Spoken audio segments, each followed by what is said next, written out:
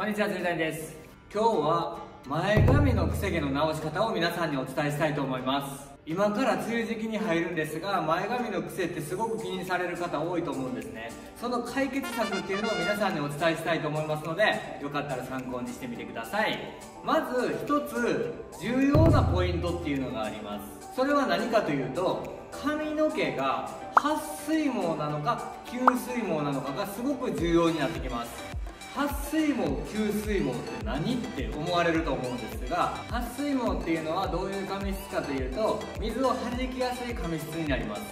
吸水毛っていうのは水を吸収しやすい髪質になります。この2つ自分がどちらなのかっていうのを理解するのがすごく大切になってきます。なぜ撥水毛か吸水毛かっていうのを見極めないとダメかというと髪の毛っていうのは SS 結合っていう結合でできてます。SS 結合っていう結合は水に濡れると切れます。乾かすとくっつきます。この乾かす工程がすごく重要になってきます。乾かす工程できれいにまっすぐ整えて乾かせばくせ毛は治ります。ただ自然に放置して乾かしたりとか適当に乾かしてしまうと癖毛が逆にひどくなったりとか中途半端に癖が残ってしまったりします。SS 結合をきれいにまっすぐに整えてもう一度濡らすことがないようにしない限りくせ毛は元に戻ってしまうのでいかに髪の毛の中に水分を入れないかっていうのがポイントになります。髪の毛の中に水分を入れないポイントはヘアケアをしっかりとするっていうことです。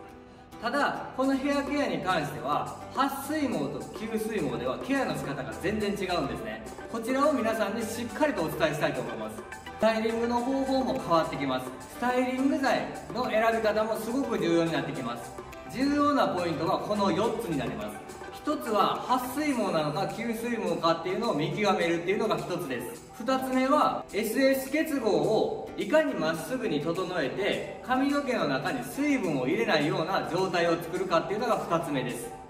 3つ目はヘアケアの方法を理解するっていうのが3つ目です。4つ目はスタイリング剤の選び方っていうのがすごく重要になります。この4つを理解すればくせ毛が出にくい前髪を作れると思います。今回は撥水毛なのか吸水毛なのかっていう見分け方を皆さんにお伝えしたいと思います。そこから洗い流さないトリートメントの付け方乾かし方アイロンの伸ばし方ここを理解してもらおうと思います。最後にスタイリング方法を見てもらおうと思いますのでこの工程を理解すればくせ毛が出にくい前髪が作れると思いますのでよかったら参考にしてみてください。では動画始めていきます。まず吸水毛と撥水毛の見分け方をご説明したいと思います。まず吸水毛の場合は水で濡らすとすぐこのような感じで髪の毛の中に入っていきます。こういう髪質が吸水毛になります。撥水毛の場合は水で濡らすとこのような感じで水を弾きます。今回は撥水毛の方の髪質で癖の直し方を皆さんに見てもらおうと思います。癖を直す時はしっかりと濡らしてください。撥水毛の場合は髪の毛の中に水分をしっかりと入れることが大切になります。なのでミストタイプの洗い流さないトリートメントをしっかりとつけていきます。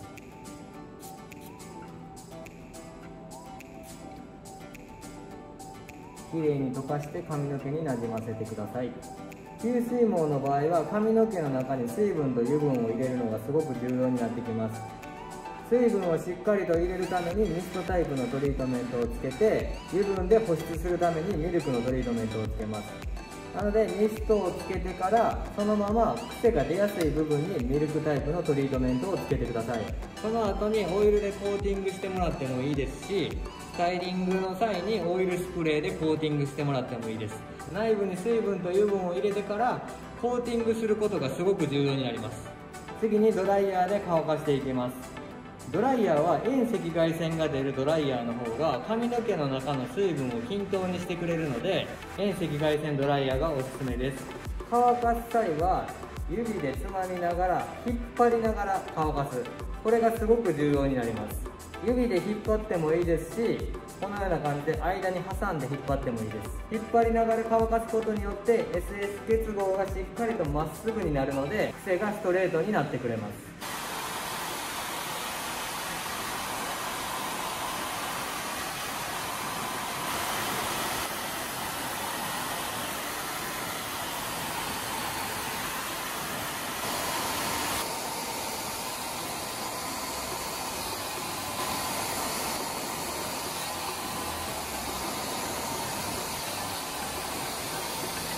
ロールブラシを使って引っ張りながら伸ばすとさらに癖がきれいに伸びてくれます。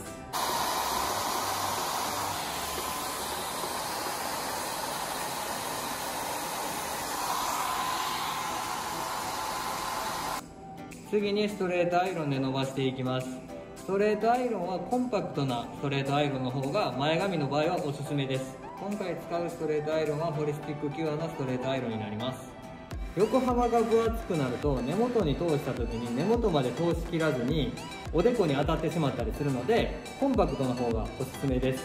ドライヤーと同じで遠赤外線のコーティングがされてるストレートアイロンの方がおすすめです。髪の毛の中の水分を均等に保ってくれて水分を飛ばしすぎることがないので遠赤外線のストレートアイロンがいいと思います。水分を飛ばしすぎることによって水分が入るスペースができてしまうので水分を吸って癖が戻ってしまう可能性があるので水分を飛ばしすぎない方がいいと思います。温度は160度で伸ばしたいと思います。200度になると水分を飛ばしすぎるので160度ぐらいがおすすめです。何度もアイロンを通してしまうとまた違うダメージが出てしまうので1回で極力伸ばすようにしてください。癖が気になる部分以外は全て止めておいた方がアイロンをする時に伸ばしやすいと思います。今回は2段に分けて伸ばしたいと思います。プレートに対して髪の毛が平行に入らないと折れ目がついてしまうので必ずプレートに対して髪の毛を平行に挟むようにしてください。前髪のボリュームを出したい時は上に持ち上げる。前髪のボリュームを落としたい時は下に下ろしてください。かき上げ前髪にしたい場合は持ち上げた方がいいと思います。今回は下ろして前髪にアイロンを通していきたいと思います。アイロンを通す前はきれいに溶かして引っ張りながら持つ。挟む時は平行に挟んでもらう。で根元にサッと入れてそのままゆっくり丸みを持たせてアイロンを通すのがポイントになります。次に上の段にアイロンを通します。ボリュームを出したい場合は持ち上げる。ボリュームを落としたい場合は下ろすがポイントになります。髪の毛に対して平行に挟んでゆっくり丸みをつけて伸ばす。ピーンとした前髪にしたい場合は丸みをつけずにまっすぐ下ろすようにしてください。髪の毛を挟む際にこうギュッて握ってしまうと髪の毛が潰れてしまうので軽く握るようにしてください。撥水毛の場合はオイルやバームをつけてしまうと逆に水分が足されてしまって癖が出てしまう可能性があるのでそのままスプレーでいいと思います。吸水毛の場合はオイルスプレーかオイルスタイリング剤バームどちらかを使ってもらって髪の毛一本一本をコーティングして髪の毛の中に水分が入らない状態を作ることによって癖が出にくくなります。撥水毛の場合で毛束感を出したい場合はオイルスタイリング剤でもいいです。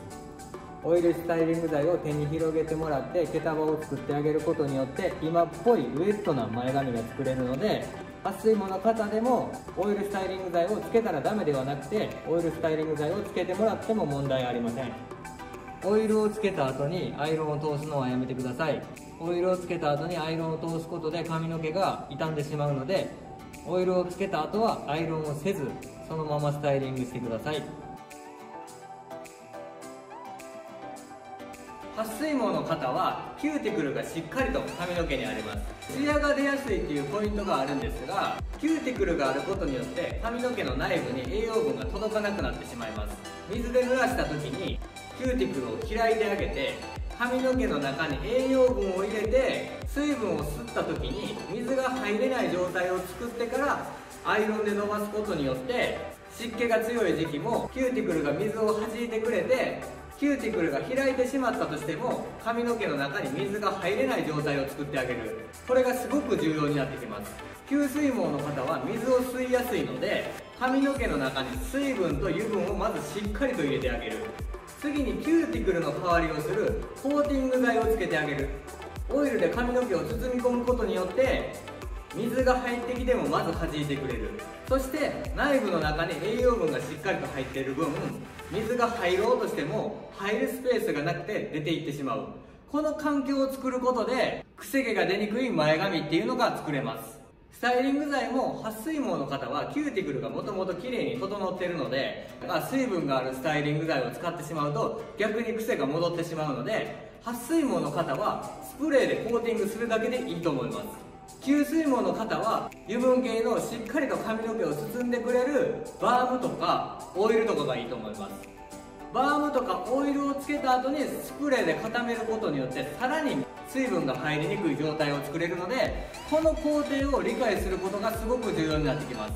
乾かす工程がすごく重要になります。SS 結合っていう結合をいかにまっすぐに乾かしてあげるかっていうのがすごく重要になるのでできる限り引っ張って乾かすっていうことをしない限り癖が出てしまうのでしっかりと引っ張って乾かすようにしてください。次にアイロンを入れる時高温でアイロンを通すことによって水分が飛んでしまって水分が入るスペースができてしまって湿気とかがあると水分が中に入ってしまうので髪の毛の中の水分をいかに飛ばさないかっていうのがすごく重要になります。高温ではなく大体160度ぐらいのアイロンでアイロンを通すことによって水分を髪の毛の中に保ちながら癖を伸ばすことができます。さらに遠赤外線ストレートアイロンだと髪の毛の水分量を保ってくれるので遠赤外線ストレートアイロンがすごくおすすめです。